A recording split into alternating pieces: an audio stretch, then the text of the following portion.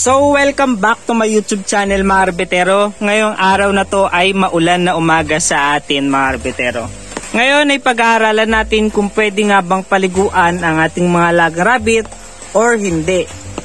So, kung bago ka lamang sa aking YouTube channel at gusto mong matuto sa pag-alaga ng rabbit, please subscribe and hit the notification bell para updated kayo sa mga bago nating content. So, shoutout pala kay Armas Ignacio na taga San Roque La Paz Tarlac and simulan na natin mga rebetero. So marami kasi nagtatanong sa akin mga karibetero na madami daw po yung rabbit nila kung pwede nga ba itong paliguan. So bago natin natalakayin ano nga ba yung pwedeng mangyari sa ating mga alagang rabbit pag madumi or paano natin ito linisan. Ang maganda ay kumuha kayo ng towel tapos basain nyo ng uh, hindi mainit yung maligamgam or yung sinawsaw sa medyo uh, mainit na tubig. Tapos ipapahid natin sa katawan ng ating alagang rabbit. So ngayong uh, uh, tag-ulan, ito kasi hindi na maiwasan talaga yung sakit na to, yung sipon. So kasi pag pinaliguan natin yung ating alagang rabbit, pwede po siyang mag-cause ng sipon or iba pang uh, problema. Hanggat maaari mga rebetero, wag natin paliliguan ng ating mga alagang rabbit para hindi po tayo magkaroon ng problema. Kasi meron kasi iba, pinapractice po yung pagpapaligo sa ating mga alagang rabbit na supposed to be na hindi dapat ginagawa mga rebetero. Hanggat maaari, uh, papahiran lang natin sila ng uh, towel na maligamgam tapos doon po natin uh, lilinisan yung ating mga laga rabbit. So ngayon kasi uh, hindi ko mahawakan yung aking mga laga rabbit sapagkat kumakain sila at pwede tayong makagat. So nangyari na noon sa akin, nakagat na rin ako ng alaga rabbit habang uh, eh, uh, ito pinag pinapaligo ay nililinisan ko yung aking mga alaga rabbit. So hanggat maaari mga arbitero, pag may alaga tayong rabbit ay wag natin itong paliguan para makaiwas sa sipon, pneumonia, and other complication. Kadalasan kasi minsan uh, parang nilalagnat pata yung mga alaga nating rabbit pag nabasa. So pag nali, uh, nalamigan rin sila, napaka-sensitive po ng ating mga alaga rabbit, pwede po sila magkaroon ng hypothermia. So ano nga ba yung hypothermia? Yung hypothermia yung nilalamig sila, yung mas mababa yung uh, body temperature nila kesa sa normal. Marami pong pwede maging uh, complication kapag nangyari po yon. Either yung ating mga alagang rabbit ay pwede po silang uh, manginig and kung meron kits sila medyo mahirap po yun dahil dagdag stress.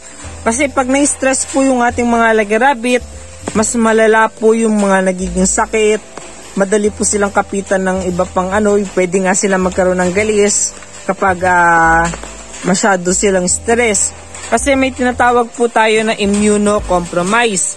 So pag na-compromise po yung ating uh, immune system ng ating mga laga rabbit, pwede na po silang atakihin ng mga bakterya.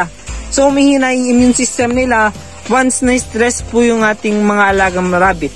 So hanggat maaari po mga rabbitero, hindi po tayo uh, nag uh, sa ating mga alagang rabbit nagpapaligo. Uh, Pwede po silang mamatay at mga pwede pang ibang complications sa ating mga lag rabbit like yung uh, ito uh, pwede po silang magkaroon ng sipon.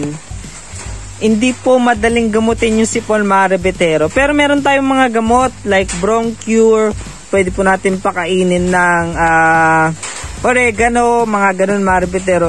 Tsaka pag nagkasipon yung ating mga lagarabit napakatagal po nitong gumaling Kadalasan, inaabot po ito ng mga dalawa or tatlong linggo. Minsan isang buwan pa hindi pa po gumagaling yung sipon ng ating mga alagang rabbit dahil po ang sipon ay viral infection. Kadalasan viral or bacterial. Pag viral infection po yung sipon or yung dahilan po ng sipon ng ating mga alagang rabbit ay dahil po sa uh, virus dahil humina yung immune system nila, ma-stress sila nung pinaliguan, Kadalasan po mga arbitero, wala po itong gamot. Kundi magbibigay lang po tayo ng vitamins sa kanila, bigyan ng uh, expectorant or para guminhawa yung kanilang paghinga, mga ganun karibetero. Mahirap po na magkasakit. Tao man, sabi nga nila bawal magkasakit, lalo na ngayon panahon ng tag-ulan. Ito yung pinaka kong panahon tuwing nag-aalaga ako ng rabbit. Di baling mainit na yung panahon, wag lang po sa akin na umuulan kasi mahirap rin po kumuha ng damo. Ah, mahirap mag-asikaso ng kulungan, mahirap maglinis. Ah, mahirap alagaan yung rabbit. Lalo na, ito yung panahon talaga, madu, ma, madugyot, madumi yung rabbit natin. Pero ang get mare ay gusto natin itong malinis. Kaya nililinis ko pa rin yung sa loob ng kulungan Ayan, malinis yung loob ng kulungan. Pero yung sa labas na kulungan ay medyo uh, madumi na. Maribitero, mahirap kasi maglinis. Pero once na huminto tong ulan na to, ay maglilinis tayo ulit na ating mga lag rabbit. Lilinisan natin lahat. Since itong rabbit natin, mga 2 to 3 days ay malapit na pong mga anak. So ayan, pati yung mga rabbit na malapit na mga anak, yan yung pinaka-stressful. Kaya wag natin papaliguan yung mga yan. And secure lang natin na natatabunan po ng uh, bubong po yung ating alaga rabbit para hindi po sila mabasa at magkasakit. Lalo na, mahi- mahal, mahal ang gamot, mahal ang magalaga, medyo matrabaho. Pag yan nangyari ay hindi bad, hindi po magandang practice yun na ano. Kasi lalo na meat type po yung ating mga alaga rabbit so mahirap po mag-asikaso po ng mga ganitong type ng rabbit since nandito sila sa labas ng bahay at hindi po sila katulad ng mga pet type na mas madaling alagaan dahil nasa loob po ng bahay. Medyo mahirap yung management pero kakayanin mga rabbitero. Since ngayon, tagulan, ang hirap talaga mag-manage ng rabbit ngayon, hindi maiwasan sakit, sore hack, sipon, uh, pneumonia, patigalis minsan nag-aaroon rin po, nagkaka-hypothermia, yung mga ganun, sobra talagang mahirap pag tag-ulan, mga rabbitero. Promise.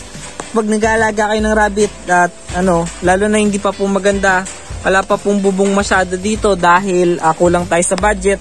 Pero once na uh, sumweldo tayo, nagkapera-pera na dito sa kahit pa paano dito sa YouTube ay bibili tayo ng mga dagdag na mga mga yero para sa ating mga lagang rabbit at i-improve natin ang ating rabbitan. So ito hindi na nga nagagamit ng kulungan dahil wala pa tayong additional rabbit kasi may balak ako bumili ng uh, mga pure breed na rabbit uh, kaya dito ang balak ko ilagay yung aking mga alagang rabbit.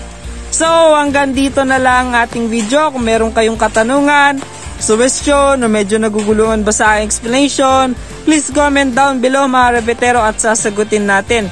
And also, lastly, pakilike na rin tong video na to, pakilike yung Facebook page natin, uh, pwede tayo sumali sa FB group, nandyan naman sa description yung ating link.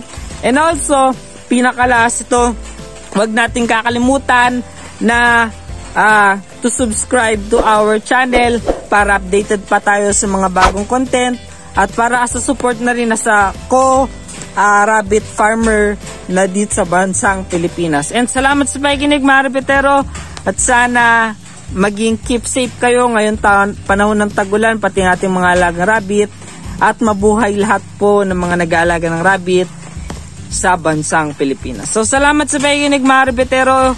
Hanggang sa ulit at ulitin natin.